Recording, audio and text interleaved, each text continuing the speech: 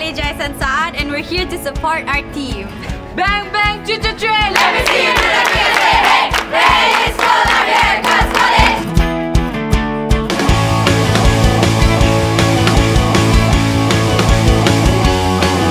should join the National Science Challenge as it opens your mind to a lot of great things and not only it's knowledgeable but it also gets you to meet other people and get to interact with all the people not only from your state but from the whole Malaysia.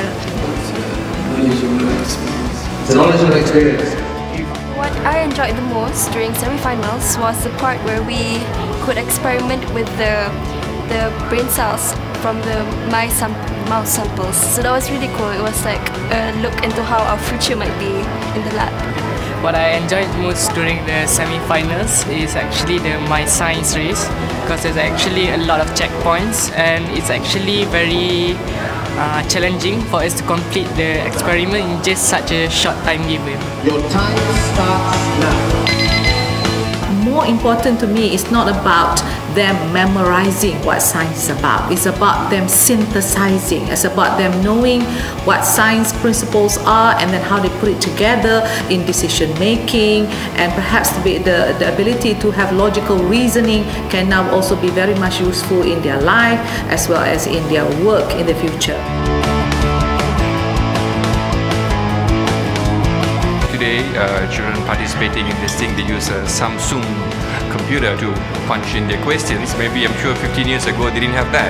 And they grew according to time and this is what is needed in science and technology, innovation. The best moment was the ice breaking activity because it was the most relaxed and we get to really know other members from other states and also get to know a lot of people and make lots of friends.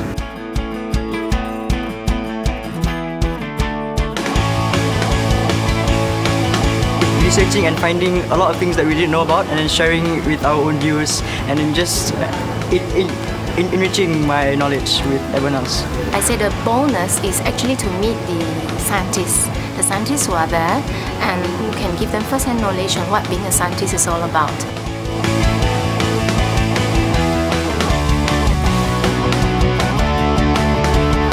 Prime Minister's Challenge Trophy and a study visit to Stockholm, Sweden. About uh, 14 years now with a modest of about 500 schools uh, coming into the game and now we have more than 2,000 schools. So you can see now that the encouragement uh, to participate in this National Science Challenge is now becoming more and more popular. The schools are now uh, coming in in a big way. They see this as an opportunity and as a platform to now put their best student forward in the sciences.